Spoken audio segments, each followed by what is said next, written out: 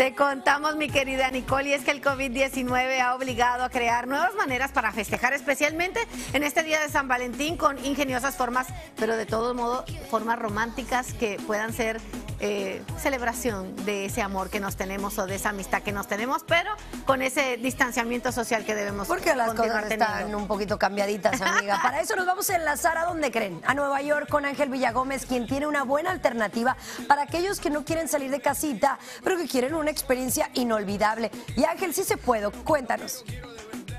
Claro que sí, muy buenos días. Me encuentro aquí en Washington Heights, Nueva York y como pueden ver a mis espaldas, los restaurantes ya se están preparando para recibir a toda su clientela este fin de semana es San Valentín. Pero si usted es el tipo de persona que todavía quiere quedarse en casita y no se siente seguro saliendo a restaurantes, les tengo una nueva opción que tal vez les vaya a gustar mucho en el próximo reportaje.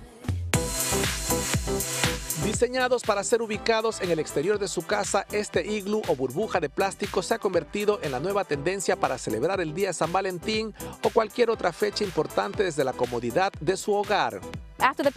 Después de la pandemia nos dimos cuenta que había una necesidad por eventos privados y así fue como nació Pop Igloos. Pienso que Pop Igloos es como un canvas en blanco o un lugar para evento privado en casa.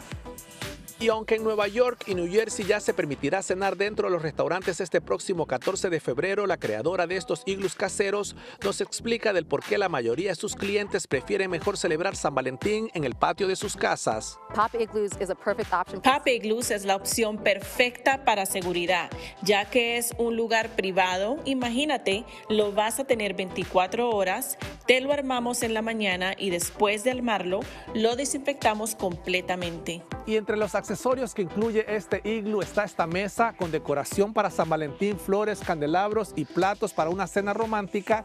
También tienen una calefacción para mantenerse calientes durante el frío y este romántico sofá para compartir en una noche romántica con su pareja. Los precios para alquilar uno de estos iglus comienzan desde los mil dólares y pueden incluir desde la cena, bebidas especiales y hasta un chef ganador de la estrella Michelin. Bueno, como lo vieron, si usted es de los que prefiere quedarse en casa y pasar una velada romántica con su pareja, ya tienen esta nueva opción de los iglus transparentes, donde definitivamente estoy seguro que la van a pasar muy bien este día de San Valentín. Ahora regreso contigo allá a los estudios.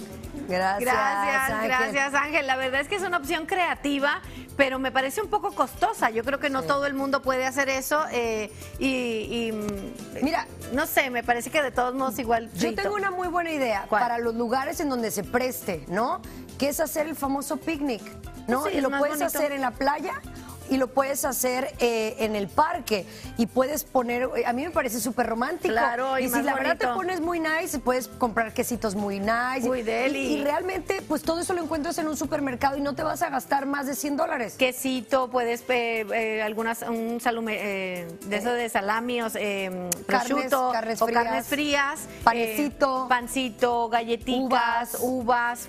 una botellita de vino, por si, por si las dudas, ¿verdad? para mí, una sangrita, que me una sangrita y que me la tenga lista con mucho hielito. Y, chocolates, por supuesto. Todo eso. ¿No? Va a estar bueno. Está bien. ¿Y no ¿Dónde, ¿y dónde lo planificaste eso para yo ir al mismo lugar? Tú habla conmigo. Miren, esto, Por 120 te ayudo. Además, además, el domingo, que es el, el, día que se celebra el Día del Amor y la Amistad, se presta precisamente para un picnic, algo un poquito más casual, pero que a la misma vez sea un detalle de ambas parejas. Pero bueno.